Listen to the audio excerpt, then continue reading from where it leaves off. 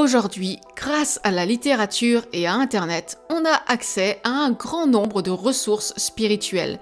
Et on peut voir de grandes similitudes entre toutes les religions, traditions, spiritualités, au point de se demander si toutes celles-ci ne proviendraient pas d'une seule et même source.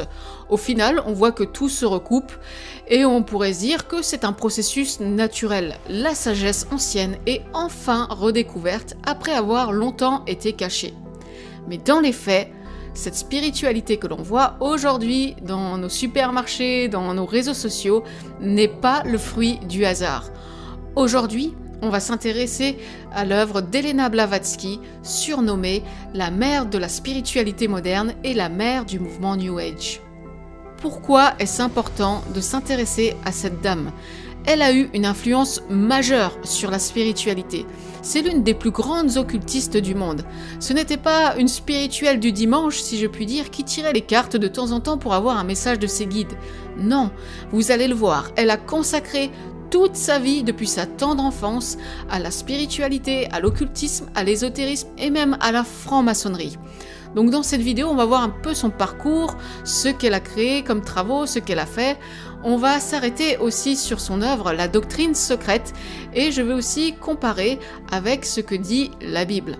Vous êtes sur la chaîne Spiritualité de la Bible, donc c'est parti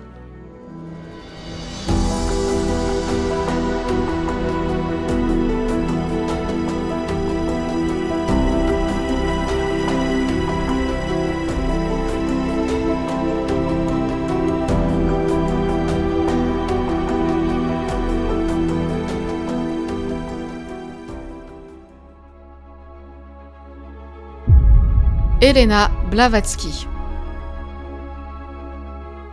Elena Blavatsky est née en 1831 dans l'Empire russe. D'une famille riche, elle apprendra très tôt à parler jusqu'à quatre langues étrangères et elle développera un très grand intérêt pour l'ésotérisme, pour l'occultisme et la franc-maçonnerie. Ses livres étaient à sa disposition chez elle. Elle était médium et communiquait avec des êtres supérieurs.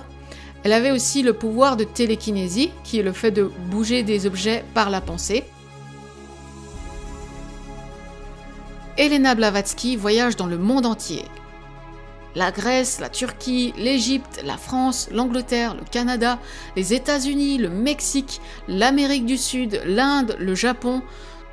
Son but, c'était de retrouver les traditions mystiques du savoir ancien qui existaient dans toutes les civilisations elle en est venue à la conclusion que notre tradition occidentale s'est beaucoup perdue et elle va chercher à combler ses manquements avec la spiritualité et les religions orientales.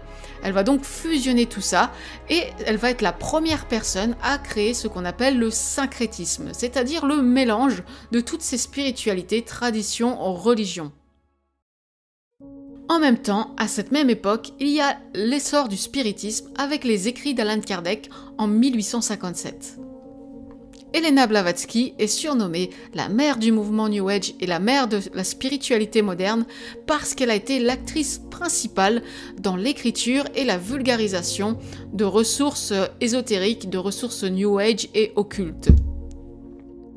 Elle écrit sous la dictée des Maitreya, les maîtres de sagesse. C'est d'ailleurs elle qui va enseigner pour la première fois sur ce sujet des maîtres de sagesse. Elle va aussi enseigner sur la mythologie antique, l'hindouisme, la réincarnation et le karma, les révélations du dieu égyptien Thoth, l'astrologie, les mathématiques sacrées, les chakras, l'Atlantide, les connaissances ésotériques, la kabbale, le soi supérieur, la magie, le yoga, la médiumnité, le troisième œil, le terme christique. Elle va mettre en avant une interprétation ésotérique de la Bible et va parler d'une falsification de la Bible en rapport avec les conciles par exemple. Tous ces sujets, on les retrouve aujourd'hui dans la spiritualité moderne qu'est le New Age. La société théosophique. Elena Blavatsky fonde la Société théosophique en 1875.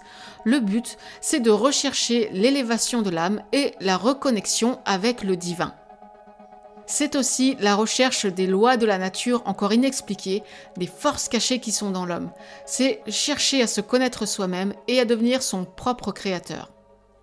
Elle fonde cette société avec le colonel Henry Steele Olcott, qui était franc-maçon et qui, lui aussi, a écrit des livres sous l'inspiration des maîtres de sagesse. Au passage, Elena Blavatsky obtiendra elle aussi un diplôme de franc-maçonnerie le 24 novembre 1877. Pour en revenir au colonel Steele Olcott, il a rédigé la devise de la théosophie qui est Aucune religion n'est au-dessus de la vérité.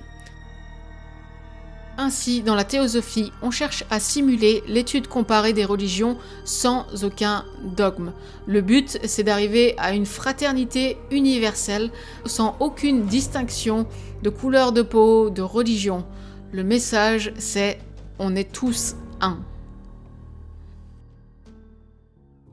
Elena Blavatsky et ses successeurs ont eu une influence majeure sur notre spiritualité parce qu'ils ont répandu des livres sur le syncrétisme, donc le mélange de toutes les religions, et en particulier la fusion du bouddhisme, de l'hindouisme et du spiritisme, les membres de la théosophie ont également diffusé beaucoup de livres sur euh, l'ésotérisme occidental, par exemple l'écriture automatique, la médiumnité, la voyance, l'astrologie, les auras, sur des mythes comme l'Atlantide ou sur euh, certaines façons de voir le monde, comme la gnose.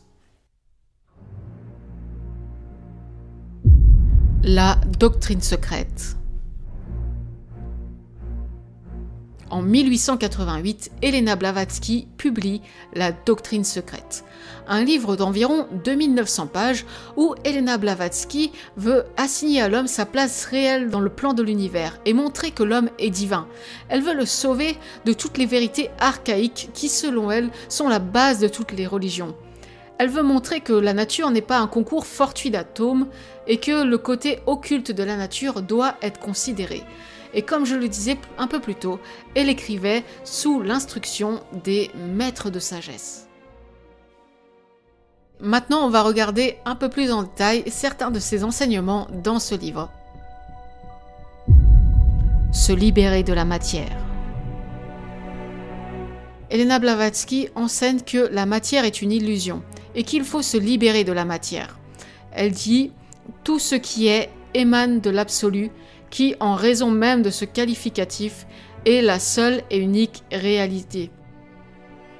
Et elle propose en fait, dans la doctrine secrète, un nouveau mythe de création commun à toutes les civilisations. C'est en fait une évolution de la matière vers l'esprit. Elle parle en fait de plusieurs races humaines qui se sont succédées au fur et à mesure des réincarnations. Elle parle des hyperboréens, des lémuriens, des Atlantes, d'où le mythe de l'Atlantide, des Ariens. Ouais, vous avez bien entendu, comme euh, la race arienne. Bon, on reviendra dessus un petit peu plus tard dans la vidéo. Selon elle, Christ est un avatar, c'est-à-dire la réincarnation d'un maître de portée universelle qui est là pour justement conduire l'humanité vers cette évolution. Jésus, un initié. Selon Elena Blavatsky, Jésus n'était pas le Fils de Dieu, mais un initié. Jésus fut un initié et un adepte martyrisé. Pour elle, il était un clairvoyant et un magicien. Il y avait une doctrine secrète prêchée par Jésus. Elle dit aussi, Jésus de Nazareth était un initié, un personnel grand, noble et saint, mais pourtant humain, bien que véritablement un fils de Dieu pour Elena Blavatsky, Jésus est une incarnation parmi tant d'autres. Il est un fils de Dieu. Pourtant, la Bible nous dit que Jésus est le Fils unique de Dieu. Car Dieu a tant aimé le monde qu'il a donné son Fils unique afin que quiconque croit en lui ne périsse pas, mais qu'il ait la vie éternelle. Elle dit également, nous luttons contre les protestants et les catholiques romains à propos d'un certain nombre de croyances théologiques d'une origine humaine et sectaire. Pourtant, quand Jésus demande à Pierre qui est-il? et que Pierre lui dit Tu es le Christ, le Fils du Dieu vivant, Jésus lui dit Tu es heureux, car ce n'est pas la chair et le sang qui t'ont révélé cela, mais c'est mon Père qui est dans les cieux. Là, dire que Jésus est le Fils unique de Dieu, c'est une révélation de Dieu, c'est pas humain, c'est d'ailleurs pas concevable pour nous en tant qu'humains. Elena Blavatsky reconnaît aussi les guérisons de Jésus. Elle dit que l'occultiste, se basant sur les preuves que donnent les évangiles, classera la plupart de ses faits dans la magie bienfaisante et divine. En revanche, elle dit un petit peu plus loin que seule la bigoterie et l'intolérance théologique pouvaient si méchamment et si arbitrairement séparer deux parties harmonieuses en deux manifestations divines, magie divine et magie satanique, en œuvre divine et anti-divine. Pour Elena Blavatsky, il n'y a pas de faux miracle, de miracle de Dieu, de guérison de Dieu et de guérison du diable, il n'y a pas de séparation. Or, Jésus lui-même nous a dit Il s'élèvera de faux Christ, de faux prophètes, ils feront des prodiges et des miracles pour séduire les élus s'il était possible. L'apôtre Paul nous parle aussi de miracles qui ne sont pas de Dieu, L'apparition de cet impie se fera par la puissance de Satan, avec toutes sortes de miracles, de signes et de prodiges mensongers. La spiritualité sans religion. Celui qui étudie l'occultisme ne doit appartenir à aucune religion ni à aucune secte spéciale, mais il est tenu de manifester extérieurement du respect pour toutes les religions et toutes les croyances c'est aussi cet état d'esprit que l'on retrouve aujourd'hui dans la spiritualité. Ainsi, Elena Blavatsky dit que si l'occultiste est bouddhiste, il considère bien sûr Bouddha, mais il devra avoir la même opinion de Jésus. Elle dit aussi que pour les musulmans, c'est une bonne chose qui considèrent Jésus de Nazareth comme un grand prophète. La loi de l'attraction. Le terme loi de l'attraction a été rédigé pour la première fois dans un livre précédent d'Elena Blavatsky dans Isis dévoilée.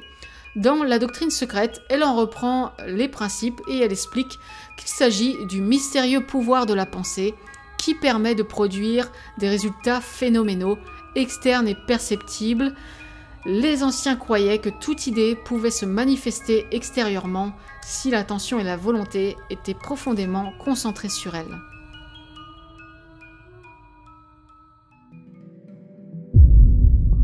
la réincarnation. Elena Blavatsky met en avant la réincarnation. Elle parle aussi du commandement de connais-toi toi-même. Et elle dit, pour en comprendre le sens complet, il faut d'abord la foi dans la réincarnation et dans tous ses mystères. Un peu plus loin, Elena Blavatsky fait une référence à la Bible en citant le verset qui parle de la nouvelle naissance, où Jésus dit à moins qu'un homme ne naisse de nouveau, il ne peut voir le royaume de Dieu. Et elle propose une réinterprétation ésotérique en parlant de la réincarnation, alors qu'il s'agit en fait d'une expérience qu'on peut vivre euh, de notre vivant sur cette terre. Il s'agit en fait du moment où on reçoit le Saint-Esprit en nous.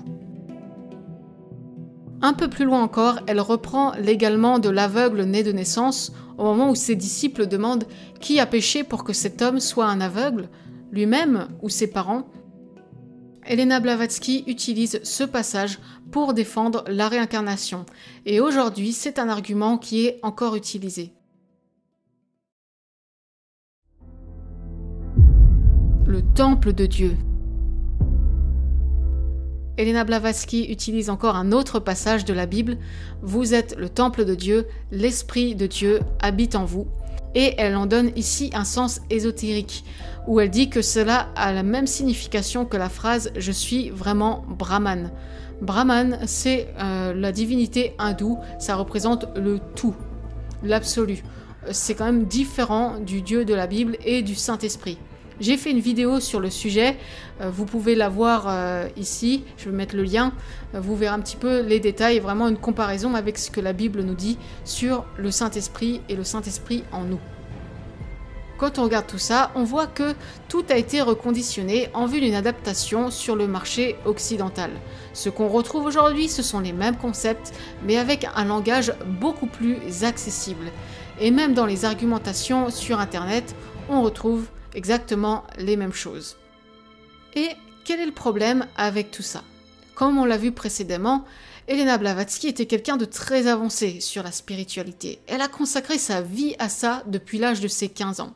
Ce n'était pas une médium débutante, elle a été jusqu'au bout de la démarche, dans la recherche de la reconnexion avec le soi divin, dans le rassemblement de toutes les croyances, dans l'interprétation ésotérique de la Bible, dans la recherche d'unité de tous les peuples. Pour quelle conclusion? La place de Satan. Satan, l'ennemi de Dieu, est en réalité l'esprit divin le plus haut. Il est le serpent théosophique de l'éternité, ou même le serpent de la Genèse. Elena Blavatsky glorifiait le diable. Elle va même plus loin en disant que les églises, les deux églises, elle parle d'églises catholiques et protestantes, luttent contre la vérité divine et qu'on pourrait leur adresser le reproche de Jésus ne disons pas que vous êtes possédé du démon. Et peut-être, je ne sais pas si c'est la première fois que vous entendez ça. Moi, c'est pas la première fois parce que déjà dans des commentaires euh, sur les traductions de Dorine Virtue, on peut voir qu'il y a des personnes qui accusent les églises protestantes d'être des démons. Les esprits qui inspiraient Elena Blavatsky continuent d'inspirer certaines personnes aujourd'hui. Chose étrange, l'enseignement occulte renverse les rôles. C'est le dragon ou serpent qui représente l'esprit. Lorsqu'on voit le mot esprit avec un E majuscule dans la Bible, il s'agit du Saint-Esprit, de l'Esprit de Dieu. Mais pour Elena Blavatsky, l'Esprit, c'est l'Esprit de Satan, le vrai Dieu spirituel.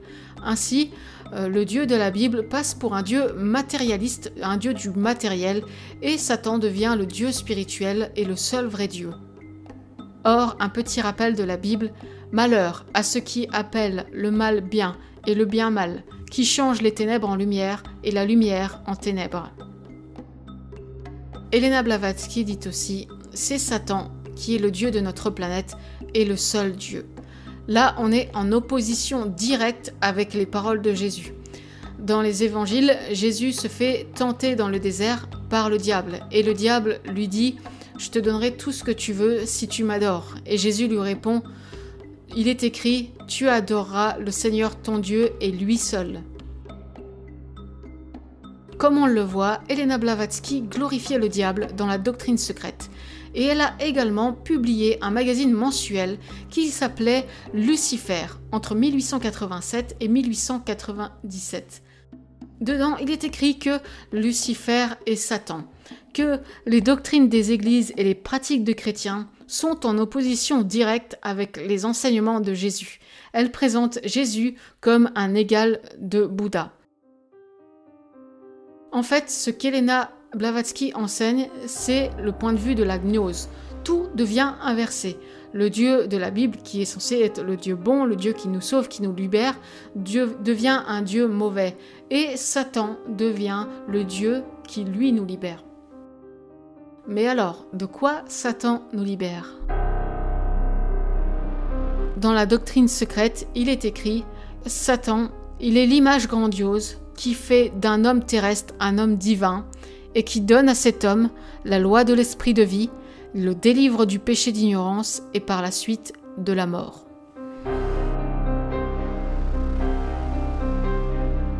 Dans ce passage, Elena Blavatsky a repris presque mot pour mot un verset de la Bible avec les trois éléments la loi de l'esprit et de la vie, la délivrance du péché et de la mort. Et en fait, ce passage, on le retrouve dans la lettre aux Romains. En effet, la loi de l'esprit de vie en Jésus-Christ m'a affranchi de la loi du péché et de la mort. Pour Elena Blavatsky, le péché, c'est le péché d'ignorance, le péché de notre nature divine, qu'il faut réaliser en conscience. Il faut évoluer spirituellement pour pouvoir se libérer de la mort. Or, dans la Bible, le péché, c'est la transgression de la loi. Or, vous le savez, Jésus a paru pour ôter les péchés, il n'y a point en lui de péché. Ainsi, si on compare ces deux passages, pour Elena Blavatsky, c'est Satan qui est le sauveur, c'est lui qui donne la loi de vie, qui libère du péché et de la mort. Or, dans la Bible, on a presque le même passage, sauf que c'est Jésus qui est le Sauveur, c'est Jésus qui donne la loi de l'Esprit de vie, c'est Jésus qui nous libère du péché et de la mort. Le non-dualisme. Selon Elena Blavatsky, pour le profane, la lumière astrale peut être Dieu et le diable à la fois. Lucifer, c'est la lumière divine et terrestre, le Saint-Esprit et Satan tout à la fois. Pour Elena Blavatsky, Lucifer égale Satan égale le Saint-Esprit. On n'a ici plus aucune notion du bien ou du mal. Or, Jésus nous disait, Nul ne peut servir de maître, car ou il haïra l'un et aimera l'autre, ou il s'attachera à l'un et méprisera l'autre. Vous ne pouvez servir Dieu et Mammon. Mammon, c'était la personnification du dieu argent. Mais là, il s'agit donc de bien de deux dieux différents. Et on l'a vu déjà, il y avait une distinction. Euh, Jésus a repoussé Satan dans le désert. Il y a une distinction entre Dieu et le diable. Jésus fait cette distinction. Mais pour Elena, il n'y en a plus aucune.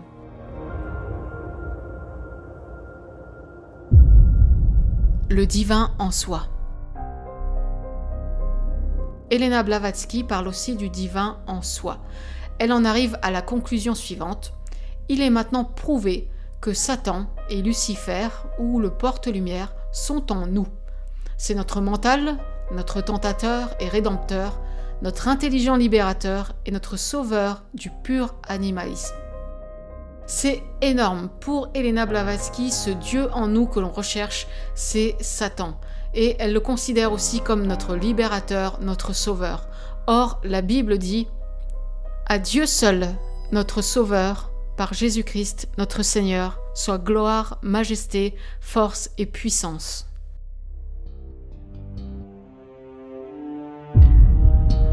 L'Antéchrist. On retrouve une parole de Jésus dans l'évangile de Jean où il est dit que le diable est le père du mensonge. L'apôtre Jean a aussi écrit Qui est menteur, sinon celui qui nie que Jésus est le Christ? Celui-là est l'Antéchrist, qui nie le Père et le Fils. Quiconque nie le Fils n'a pas non plus le Père. Et Elena Blavatsky dit Nous préférons, plutôt que de croire que le Père et le Fils sont la personnification d'un gigantesque et éternel mensonge, nous adresser au panthéisme et à la philosophie païenne pour être renseignés. Donc là, c'est clair, Elena Blavatsky est inspirée par un esprit d'antéchrist. Le Kundalini Yoga. À l'époque de la parution de la doctrine secrète, le Kundalini Yoga n'était pas du tout répandu, puisqu'il a été répandu par l'intermédiaire de Carl Gustav Jung en 1932. Carl Gustav Jung a aussi écrit sur les synchronicités, l'enfant intérieur, l'ombre, la conscience collective. Et à propos du Kundalini Yoga, on peut lire dans la doctrine secrète Kundalini, la faculté ou la force qui se meut suivant une trajectoire serpentine ou courbe. C'est le principe de vie universel qui se manifeste partout dans la nature. Un yogi doit maîtriser à fond cette faculté ou cette force avant de pouvoir atteindre moksha. Cette force est en fait le grand serpent de la Bible. Alors là, c'est pas une chrétienne qui est en train de vous dire que derrière le Kundalini Yoga, derrière l'esprit de Kundalini, c'est un esprit démoniaque. Là, c'est Elena Blavatsky, l'une des plus grandes occultistes et spécialistes de la spiritualité et de l'unité des religions, qui est en train de vous dire que l'esprit de la Kundalini, c'est le grand serpent de la Bible, donc c'est Satan, le diable.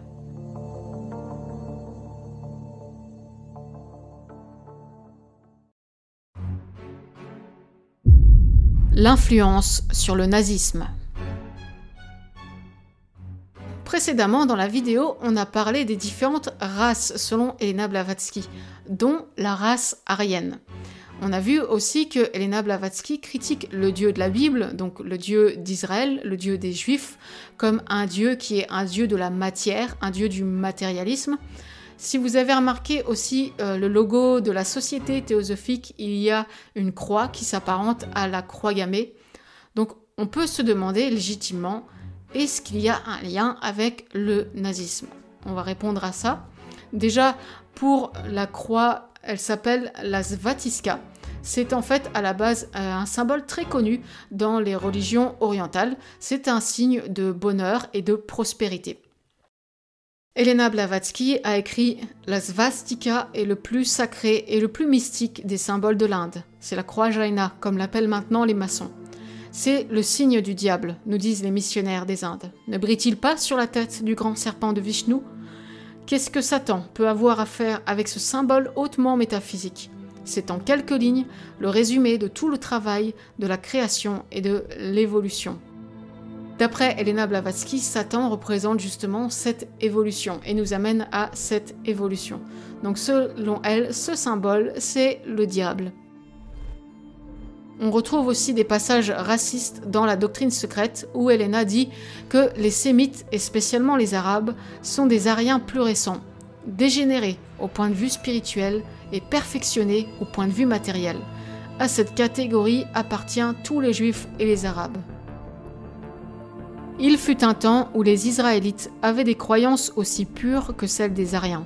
Mais le judaïsme d'aujourd'hui, basé uniquement sur le culte phallique, est devenu l'une des croyances les plus en retard de l'Asie et théologiquement une religion de haine et de malveillance envers tout ce qui est en dehors d'elle. Il y a effectivement un lien entre théosophie et nazisme, notamment la Société de Tulé qui a été fondée en 1918, dont le fondateur était un théosophe. Conclusion. La spiritualité New Age, c'est un peu comme un engrenage. On commence avec une croyance, et puis une autre, et puis une autre. Mais si on remonte tout en haut de l'engrenage, on se rend compte à quel point les valeurs vont s'inverser. Ainsi, Jésus devient un être humain parmi tant d'autres, et celui qui nous sauve, c'est le diable. Malheur à ceux qui appellent le mal bien et le bien mal, qui changent les ténèbres en lumière et la lumière en ténèbres. On a vu dans cette vidéo le lien qu'il pourrait avoir entre spiritualité et le diable. Et dans la prochaine vidéo, on va continuer. On va voir d'autres occultistes qui ont eu un impact majeur. On verra aussi euh, comment la théosophie, comment les enseignements de la théosophie se sont perdurés. Si vous voulez aller encore un peu plus loin sur le sujet, je vous conseille la vidéo sur la théosophie par Karim de la chaîne Pourquoi Jésus ou si vous êtes à l'aise avec l'anglais, il y a aussi la vidéo de Stephen Bankarts sur les preuves que le New Age est satanique. Et en attendant la prochaine vidéo, je vous dis, soyez bénis